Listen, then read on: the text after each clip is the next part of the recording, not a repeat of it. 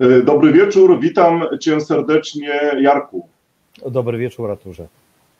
E, przedstawiam e, Jarosława Mazura, który jest logistykiem z zawodu, prywatnie, czy jako pasjonat, miłośnikiem muzyki i sprzętu do jej odtwarzania, czyli potocznie mówiąc audiofilem, ale ze szczególnym zwróceniem uwagi na technikę analogową, ponieważ jest miłośnikiem gramofonów i płyt winylowych. W związku z tym no, posiadł e, podczas wielu lat e, własnych odsłuchów, dociekań, e, wielu konfiguracji, po prostu wielką wiedzę praktyczną i teoretyczną w tym zakresie.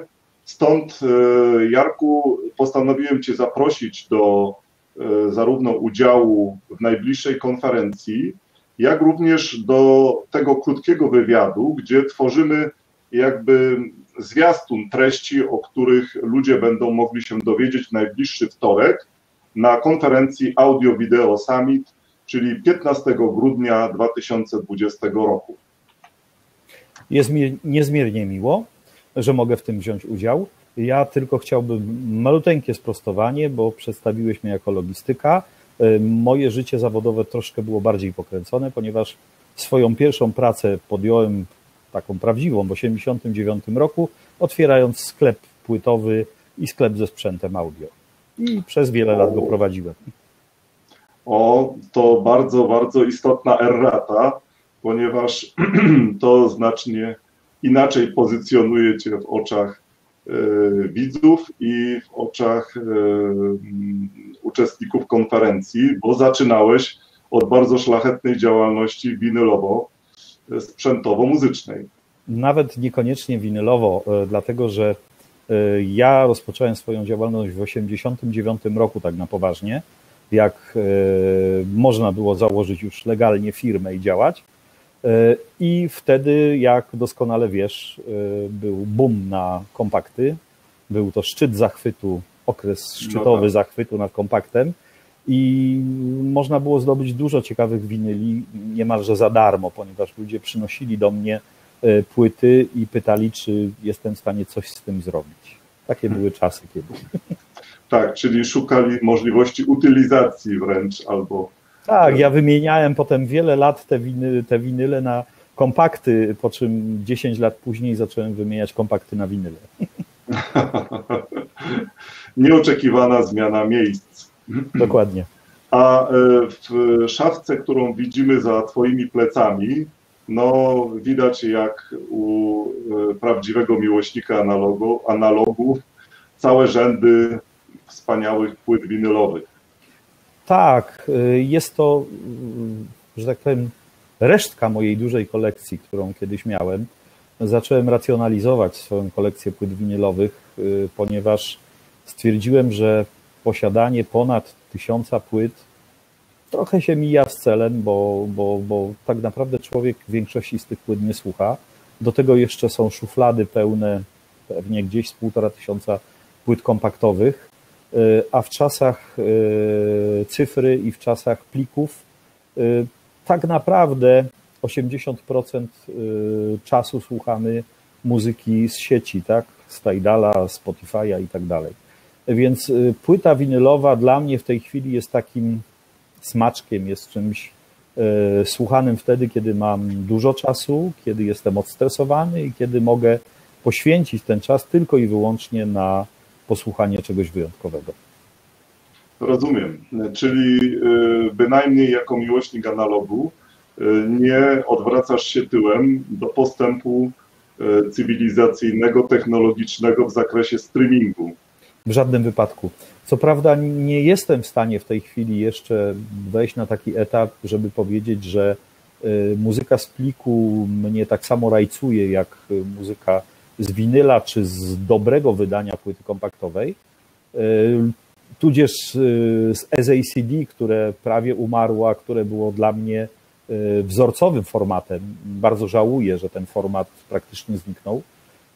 Nie, nie, nie zamykam się. Ja, ja jestem daleki od, od okopywania się na pozycji obrońcy analogu, winyla za wszelką cenę i udowadniania, że winyl zawsze brzmi lepiej od kompaktu. To jest nieprawda. Znam wielu muzyków, szczególnie muzyków, którzy uprawiają muzykę klasyczną, którzy uważają, że lepiej słychać muzykę z kompaktu. Natomiast znam też wielu muzyków, którzy uważają, że muzyka z winyla brzmi tylko i wyłącznie prawdziwie Y, nawet pojawiają się w radio audycje coraz częściej, y, szczególnie w Radio Nowy Świat, y, niejakiego pana Wagleskiego, który się nawrócił dzięki nam jakieś trzy lata temu na, na gramofon, zakupił u Maćka w Delcie gramofon i udało mu się po złamaniu dwóch igieł no, rzeczywiście zacząć słuchać na poważnie i kupować płyty na poważnie i e, puszczać te płyty w radio. O, tak, tak. Wtorkowy program. Wtorkowy program najpierw w dawnej trójce, teraz w Radiu Nowy Świat. To jest program prawie w całości puszczany y, z płyt winylowych. O, to rzadkość. To rzadkość, duża rzadkość. Tym bardziej w formacie Radia Nowy Świat, który jest transmitowany tylko w internecie. Tak, tak. tak. Y, dobrze, czyli zwrócimy uwagę na pana Waglewskiego jako analogowego neofitę w takim razie. Zdecydowanie, zdecydowanie. Dzięki za ciekawostkę, Jarku. Natomiast chciałem nawiązać i zapytać Cię o najbliższy wtorek, ponieważ y, będzie to prezentacja, jakby to określić, żeby nie uchybić, a dobrze oddać jej charakter, w pewnym bardzo wtajemniczonym, wąskim gronie miłośników analogu, znawców analogu, ludzi, którzy mają wiele, wiele lat E, doświadczeń, czy jak to określiłeś, męczeństwa analogowego za sobą, ponieważ e, dla osób niedoświadczonych wydaje się, że po prostu wystarczy iść do Lidla, kupić sobie gramofon z USB za kilkaset złotych i w ten sposób e, też kupując płyty w Biedronce, płyty winylowe, stają się po prostu analogowcami. No nie, nie do końca tak to jest, ale to spotkanie, które się odbyło, czy ono przyniesie jakieś ciekawe informacje dla kogoś, kto rozważa wejście w świat analogu, czy e, kupno płyt e, winylowych i sprzętu do ich słuchania. Tak naprawdę e, poruszyłeś dwa tematy i zadałeś dwa pytania, więc ja spróbuję najpierw bardzo krótko odpowiedzieć na pierwsze, dotyczące kupowania sprzętu w Lidlu i kupowania y, płyt w innych sieciach, Biedronce i tak dalej. Y, myślę, że największym zagrożeniem w tej chwili dla muzyki mm, odtwarzanej z płyt winylowych jest właśnie sprzedawanie sprzętu, no, gramofonów o bardzo niskiej jakości i sprzedawanie płyt.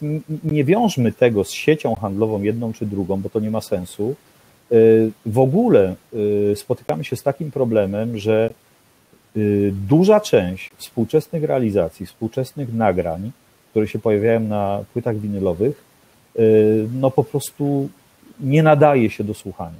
Jest to zrealizowane źle, jest to nagrywane całkowicie cyfrowo, potem tylko przenoszone na nośnik analogowy. Jest to mastering wykonywany tak samo, jak się robi mastering na płyty kompaktowe, czyli kompletnie nie pasujący do płyty winylowej. Mało kto y, pewnie sobie zdaje sprawę z tego, że przy mm, robieniu masteringu i przy wyborze nagrań y, na płyty winylowe, w zależności od tego, z jaką dynamiką był nagrany utwór, umieszczało się ten utwór bliżej zewnętrznej strony płyty lub bliżej środka płyty. Czyli utwory proste, gitarowe, ballady mogły się bez problemu sprawdzać bliżej środka, natomiast na zewnątrz płyty były umieszczane utwory, które wymagały e, lepszych parametrów. No to jest związane z charakterystyką płyty winylowej, gdzie prędkość kątowa jest stała, natomiast prędkość liniowa się e, zmienia, bo zależy od e, miejsca na płycie, w którym jest igła w danym momencie. I to jest, to jest pierwsza rzecz, która mnie szczerze powiedziawszy przeraża, bo, bo naprawdę mało która płyta wydawana w tej chwili brzmi chociażby w 50% tak dobrze, jak wydania płyt z lat 60., 70. Jest to, jest to, jest to bardzo smutne. Choć są dobre wyjątki. Ja, Ja niestety mnie to kosztowało bardzo dużo, ponieważ musiałem kupić gigantyczne ilości płyt, przesłuchać i ocenić, jak one brzmią. W tej chwili mam wiedzę i wiem, co warto kupić, czego nie warto kupować, jeżeli chodzi o nowo produkowane płyty. Oczywiście tego wyboru nie mamy w przypadku płyt y, y, teraz nagrywanych, tak, teraz komponowanych, no bo, no bo po prostu nie mamy innego wydania, nie mamy starego japońskiego wydania z 65 roku. Y, natomiast jeżeli chodzi o spotkanie, było to jedno z ciekawszych, z ciekawszych spotkań, w których ja uczestniczyłem. Rzeczywiście grono zagorzałych wielbicieli muzyki. Ja nie powiem, że tylko sprzętu analogowego i tylko winyla, ale w ogóle muzyki, bo ja myślę, że prawdziwy słuchacz, prawdziwy meloman nie dzieli muzyki na muzykę z kompaktu, na muzykę z winyla, na muzykę z radia, z netu. Po prostu liczy się muzyka, a sprzęt jest tylko narzędziem, które pozwala nam usłyszeć z tej muzyki jak najwięcej. I mm, no, to spotkanie warszawskie było rzeczywiście fascynujące. Goście, którzy w tym spotkaniu uczestniczyli, zadali mi bardzo ciekawe pytania, nad którymi musiałem, potem wiele dni z jednej strony myśleć, z drugiej strony sięgać do źródeł, a jak pewnie osoby, które się interesują winylami, to wiedzą, że zdobyć jakiekolwiek informacje na temat techniki analogowej, na temat gramofonów, nawet w necie jest bardzo ciężko, no bo to, jest, to są tematy, które umarły 25 lat temu, tak? No, chyba tyle na początek. No właśnie, czyli y, Jarku, y, to spotkanie, bo próbuję wejść jakby w buty albo w głowę y, potencjalnego uczestnika konferencji, czy ułatwi mu wybór jeżeli by doszedł do wniosku, tak, kręcą mnie te płyty czarne, czy kolorowe płyty winylowe i chcę wdepnąć właśnie na tą drogę, czy wejść y, uroczyście na drogę do doskonałego analogu. Y, szczerze nie wiem, czy ułatwi wybór. Szczerze to powiem, że y, zachęci do zainteresowania się, bo urządzenia, które tam były i tematy, które tam były, były naprawdę fascynujące. I myślę, że dla przeciętnego człowieka, który miał kontakt, może nawet nie w Lidlu, ale kontakt z jakimś prostym gramofonem, y, nie wiem, Regi czy Projecta, to co tam było, może szokować i może zainspirować do tego, że jednak warto w tym kierunku pójść. Oczywiście wcale niekoniecznie trzeba od razu wybierać urządzenia, które tam były, bo jest mnóstwo urządzeń e, dużo tańszych, a niewiele gorzej grających, ale myślę, że to, co tam się działo, może być olbrzymią inspiracją. E, świetnie. Czyli chodzi o to, że pytania zadawane z sali, tobie jako specjaliście czy ekspertowi w dziedzinie analogu, ponieważ e, współpracujesz z firmą, która jest dealerem e, tej właśnie marki, która będzie zaprezentowana na konferencji. E, po prostu zadawane są pytania, które jakby poruszają kwestie bardzo istotne dla dobrego skomponowania toru analogowego. Tak, oczywiście. E, większość pytań, z którymi ja się spotykam, rozmawiając e, z ludźmi, którzy kupili sobie gramofon, którzy kupili sobie wkładkę albo chcą kupić gramofon, chcą kupić wkładkę, to są takie pytania elementarne, e, no takie przedszkole analogu. Natomiast tam rzeczywiście pojawiły się pytania, no tak naprawdę o istotę tego, czym jest analog. No zupełnie, zupełnie inny poziom. Mhm. Czyli w pewnym sensie hasło masterclass albo wyższy poziom wtajemniczenia będzie stosownym takim nagłówkiem, jakby etykietką tego spotkania w bardzo ścisłym i takim niewielkim gronie. Myślę, że to jest trafne. Okej. Okay. Ponieważ y, cały czas nam zależy na tym, żeby widzowie zdecydowali się na przybycie na konferencję i poznanie tej prezentacji, bo trwa ona 45 minut. W takim razie będzie to spora dawka e, z Tobą w roli głównej, jako ekspertem, wiedzy o analogu już z tej najwyższej półki. Tak to możemy określić? Zdecydowanie tak. Natomiast e, Jarku, e, czy na koniec tej prezentacji, już na żywo, bo będziesz obecny na konferencji, możemy liczyć na e, możliwość odpowiadania też na pytania z czatu uczestników konferencji Audio-Video Summit? Zdecydowanie tak. Oczywiście nie daję gwarancji, że odpowiem w 100% na każde pytanie, ale myślę, że na dużą część pytań będę potrafił znaleźć y, odpowiedź y, na miejscu. Świetnie, bardzo dziękuję, ponieważ y, ludzie lubią pytać o różne szczegóły, a oglądnięcie tej prezentacji z pewnością takie pytania w ich głowach, ja na to liczę, się pojawią, więc bardzo proszę Cię o wsparcie i pomoc jako eksperta.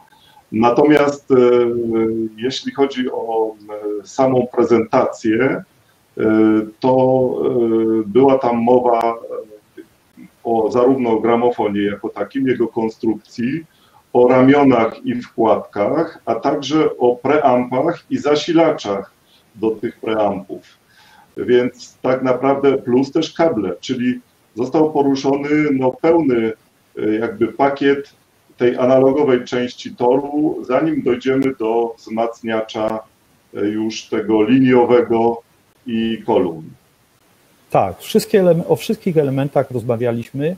E, niestety już na filmie nie ma naszych rozmów na temat płyt, które potem puszczaliśmy, no ale to jest już zupełnie inna historia.